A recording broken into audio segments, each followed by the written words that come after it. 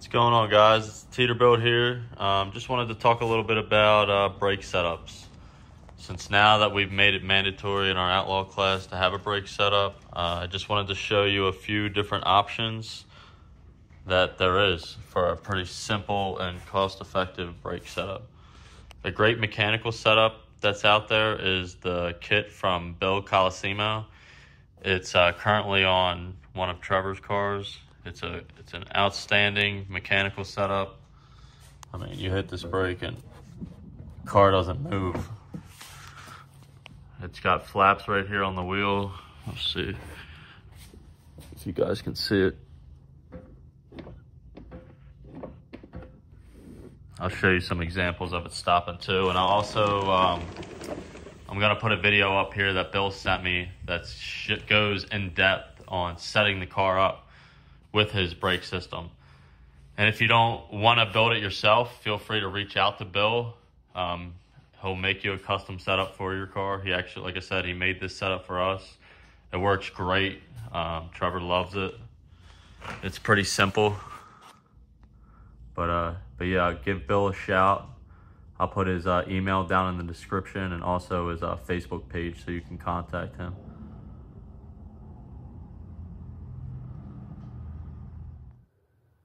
So this is going to be a quick uh, video on the brake system uh, built for the Lightning McQueen. So I have a pedal down here on the back side here. We're going to have your brake shaft that goes across these two collars here to center the assembly there, keep it from shifting side to side. And this is just where it attaches together.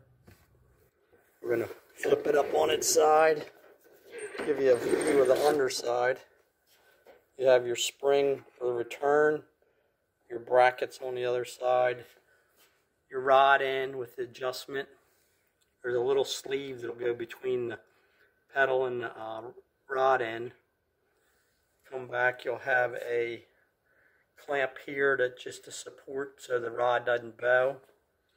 Up in here, you'll have to cut out two spots to get some clearance where the rod goes over the hub there. Here's your rear rod end with uh, the little sleeve. And then uh,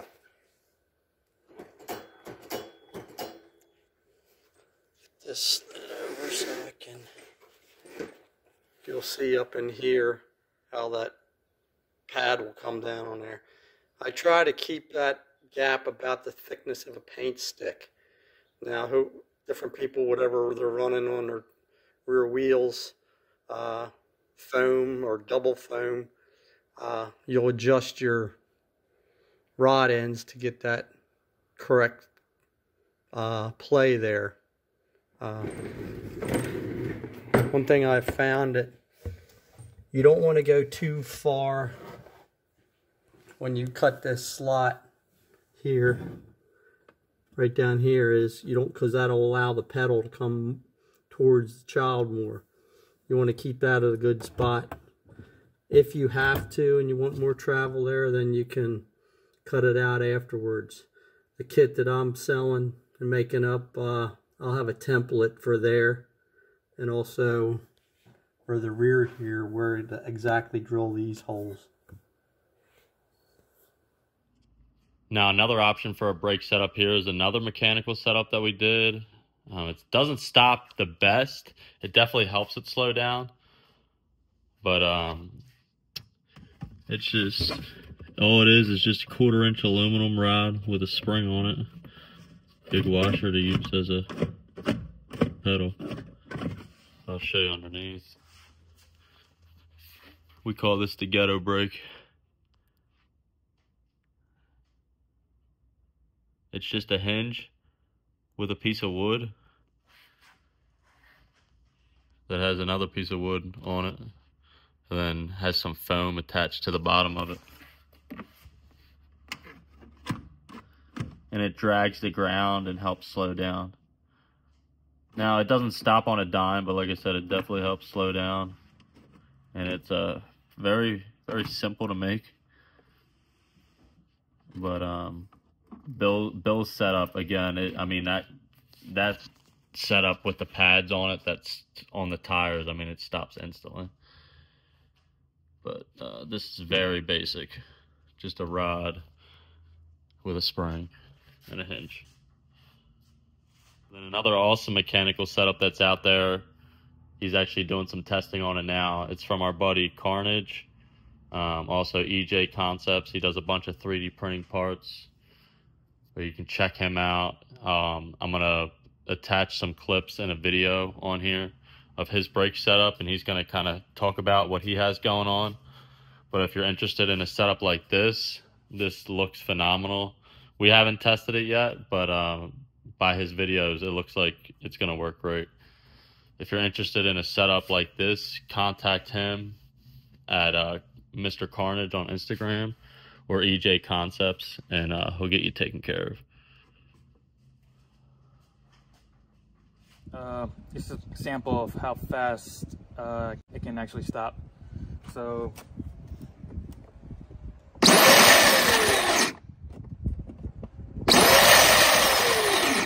and right now it's not set all the way to the tightest, so we can adjust it.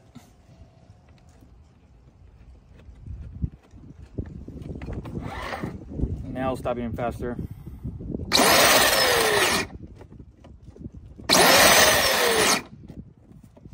Go even tighter.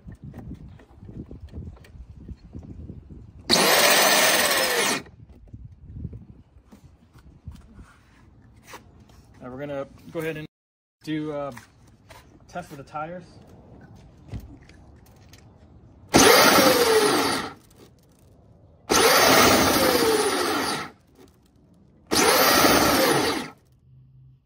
Another good brake setup is this electric actuator setup. Uh, our good buddy Doug use it as, uses it on his daughter's car, and I know our buddy Brandon uses it on his son's car as well. Now it's a great setup. It actually lifts the back of the car off the ground. What I really like about that brake setup is if you were to ever have a mechanical failure and your pedal was to stick on or anything along the nature of the car doesn't want to stop with that type of brake setup, it lifts the back of the car off the ground. So the wheels are off the ground. Um, you know, it can't move, obviously.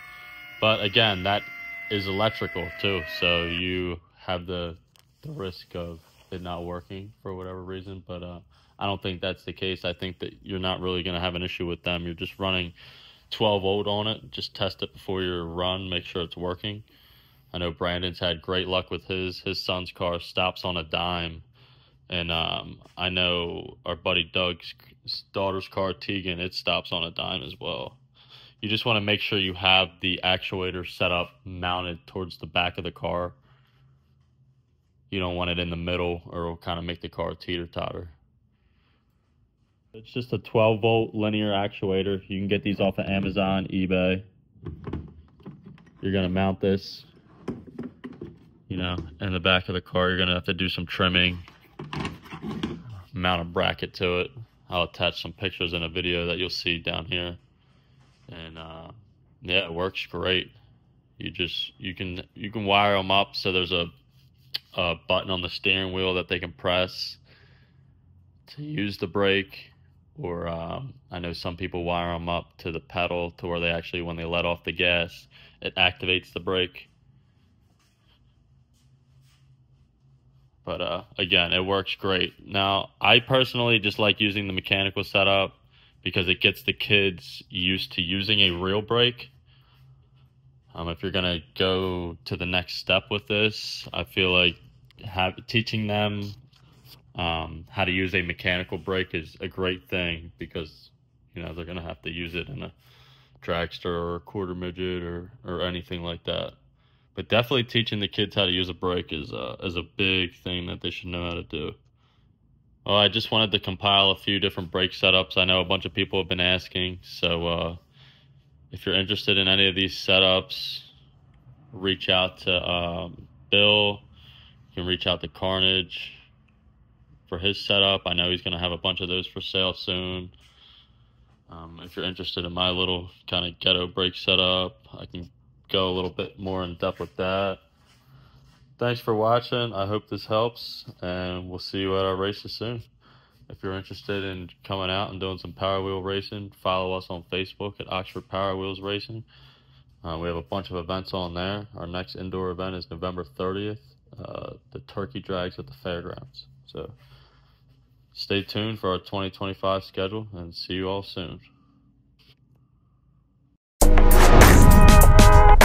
Bye.